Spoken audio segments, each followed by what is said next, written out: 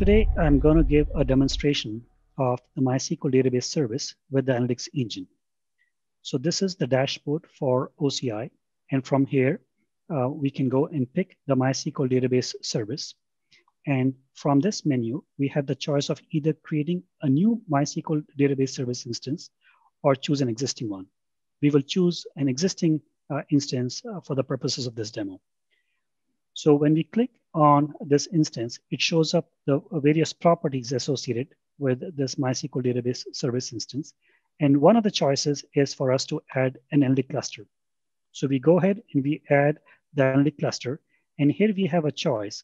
Either we can specify the number of nodes we would like to add to this instance, or there's an alternative way where we can do an estimation. The system does a machine learning based prediction of the number of nodes that will be required given the size of the tables. So we can use one of these two choices. And once uh, we have uh, uh, plugged that in, then we add the option to add these uh, two nodes. This process takes um, a little while, like um, a few minutes, to provision the nodes and to attach these nodes to the instance uh, which we talked about.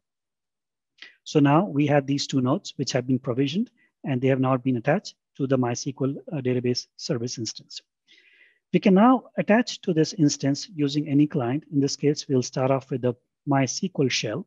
And to start off with, uh, we see that there are multiple databases in this instance. We will use the TPCH uh, database. And uh, we look at the tables which are associated in this database. And for one of them, uh, we will look at the table definition.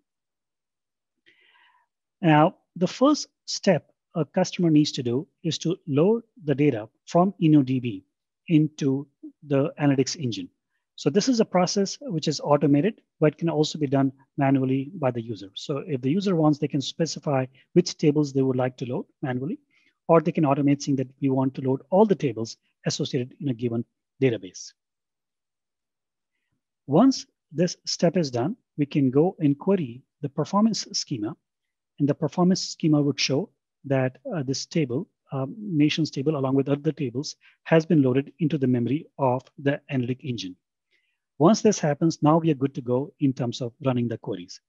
So I have my uh, display set up so that the upper part of the screen shows uh, uh, uh, shows the analytic engine being used, whereas the lower part of the screen is when the queries are being executed against the same database, but here we have turned off the analytic engine.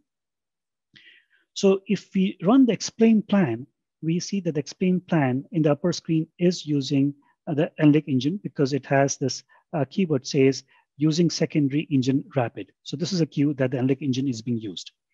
If we run the explain plan um, on the lower screen, we will see that it will not have the secondary um, engine keyword, which shows that it is using the default, namely the InnoDB execution engine. So with that set up, now let's run a query. This is um, a TPCH query. It's a fairly simple query. It has like a few filter predicates, and we see that the query completed in about 0.028 seconds with the analytic engine. The size of this specific database is about 10 gigs, and the amount of improvement a query would get depends upon the size of the data and the complexity of the query. So this is representative of the kind of improvement you would see. So in this case, we see that uh, with the MySQL database, it took 22.5 seconds. And with the analytic engine enabled, it took about 0.028 seconds, which represents a speed up of about 800 times. So next, let's turn on to uh, a query, which is a little more interesting.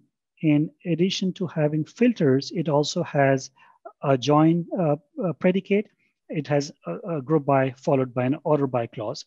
So when we execute this query, we see it took about 0.068 seconds with the analytic uh, engine enabled, and we have fired up the query with the MySQL database as well.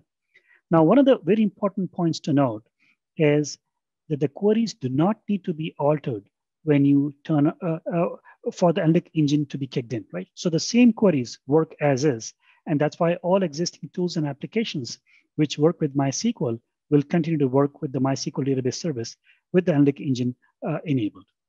So in this case, the query with the MySQL database took about 30.7 seconds in contrast to about 0.068 seconds with the analytics engine. And this represents a speed up of about 450 times.